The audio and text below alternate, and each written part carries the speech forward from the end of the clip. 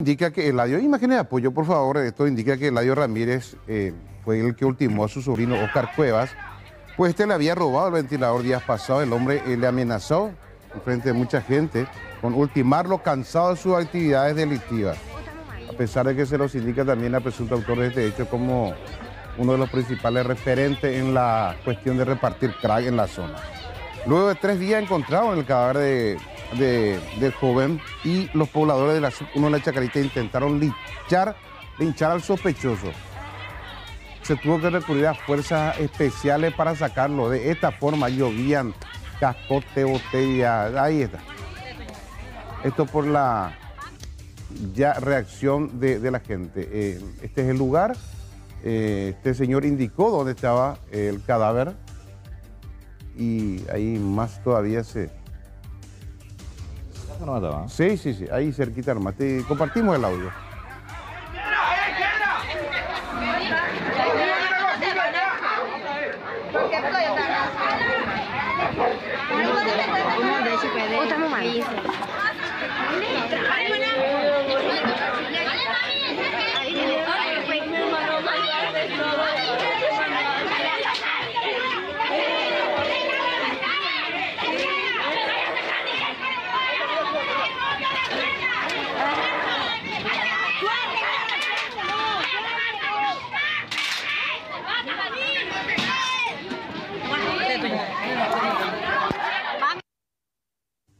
Ahí está. Y ni siquiera en la comisaría quinta em, lo derivaron por temor a que los vecinos eh, aparezcan allí. Aparezcan y hay, digamos, menor seguridad referente a esto. Eh, terrible lo que pasó. ¿eh?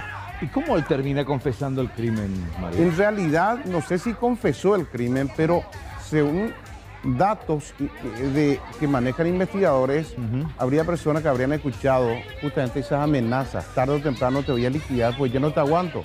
Me robaste esto, me robaste. Y justo desaparece el joven uno o dos días después, ¿verdad? y, justo él es el que eh, orienta dónde está el cadáver también. Mm. Entonces, Demasiada coincidencia. que quizás no también, ¿verdad? Están caracteres sospechosos, pero lo que demostramos es un poco la reacción de los vecinos ante el hallazgo del cadáver y la forma en que trataron de lincharlo a este señor, precisamente. y, bueno, ha de tener su versión, pero... No, acá lo más, creo que lo más preocupante para él y para el entorno de la familia es que se encontró el cuerpo. Sí, sí, sí. Eh, y que todo apunta a que podría tratarse de él.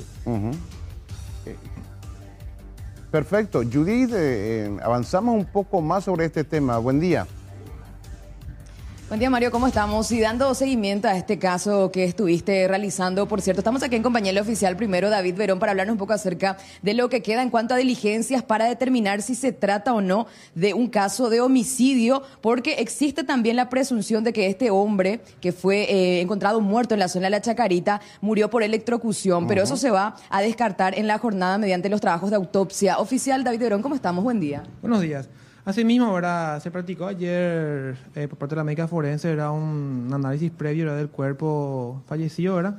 donde manifestó ¿verdad? que únicamente ella debía manifestar con una autopsia ¿verdad? el resultado de la muerte del sujeto. ¿verdad?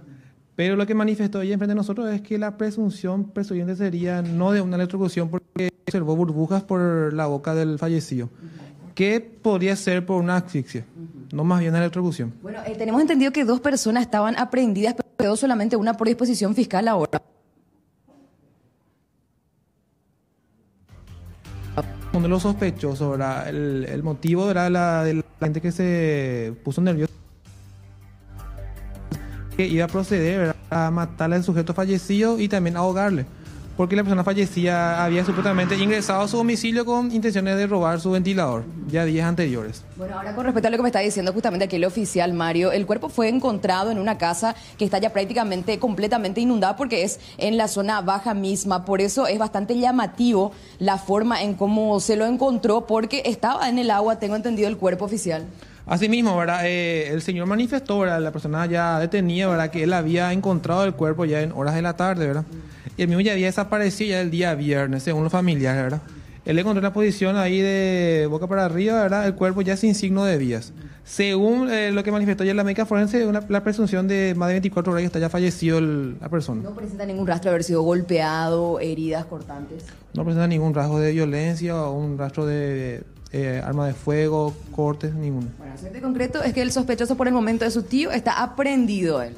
Así que la en hora de la mañana, a las 8 de la mañana, ya en conjunto con la fiscal de turno Sonia Mora, como también con el médico forense para diagnosticar. Y manifestó la fiscal que de acuerdo al resultado de la autopsia ella va a determinar si produce la detención del sujeto o la liberación del mismo. Excelente, gracias, oficial. No, por favor. Bueno, el cuerpo ya se encuentra en la morgue judicial. En el transcurso de la mañana se va a llevar a cabo esta diligencia para finalmente confirmar la causa de la muerte de este joven y si existe alguna persona por detrás, Mario. Así es, eh, eh, lo único que este señor, una vez eh, que lo liberen, si es que no tiene cargos, tiene que tener cuidado para ir a su barrio, a su casa.